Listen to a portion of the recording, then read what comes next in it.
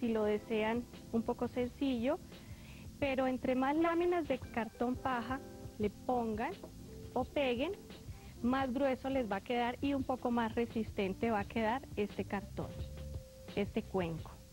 Lo debemos dejar pegar de unas 2 a 3 horas para que al mojarlo con el alcohol no vaya a correrse. Aquí tengo uno ya totalmente pegado.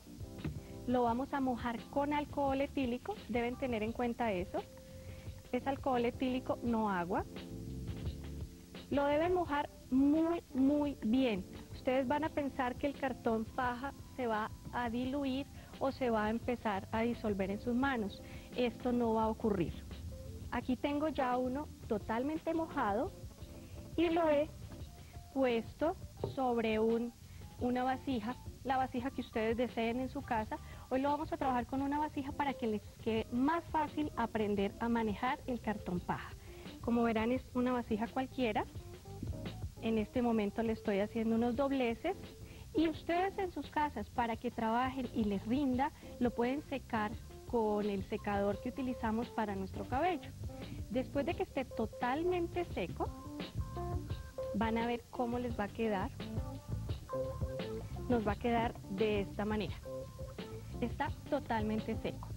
Y a este le vamos a aplicar la caseína. Este es un producto que se utiliza para los acrílicos, para las pinturas y es una base neutra. Lo debemos aplicar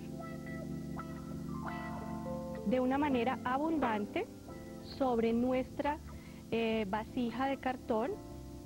Esta caseína cuando se seque va a quedar dura, va a ser similar a la cerámica, por ejemplo, es como un estuco.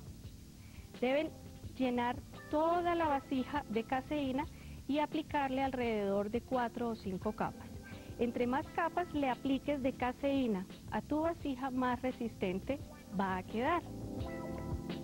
Después de que le hemos aplicado la caseína y se ha secado alrededor de 4 o 5 horas, nos va a quedar así, con algunas vetas que vamos a lijar con esta lija que traje aquí. Es una lija número 80 o 100, que es una lija gruesa y te va a ayudar a quitar las vetas de la caseína. Entonces lo podemos lijar en forma circular hasta que ustedes vean que su vasija va quedando lisa y no le observan esas vetas que podemos ver acá. Después de lijar con esa lija gruesa, vamos a utilizar una lija número 600, que es una lija bastante suave y delgada, para pulir nuestra vasija. Con esta debemos hacer movimientos circulares y bastante fuertes para que el terminado de nuestra vasija sea totalmente lisa y de un poco un tono brillante. Cuando nuestra vasija está ya totalmente lisa, no le ven vetas y está un poco brillante, ustedes ya pueden definir qué diseño le van a hacer. Para esto utilizamos acrílicos de colores pasteles o colores vibrantes, como ustedes lo deseen, de acuerdo a la decoración que tengan en su, en su hogar. Vamos a retirar esto les voy a mostrar dos opciones que les traje para hoy. Estos son vasijas trabajadas totalmente a mano. Cuando ya tengas prácticas y has trabajado de pronto con arcilla y demás, tomas tu cartón paja y le das la forma que desees. Mm, he utilizado colores vibrantes como lo pueden observar aquí.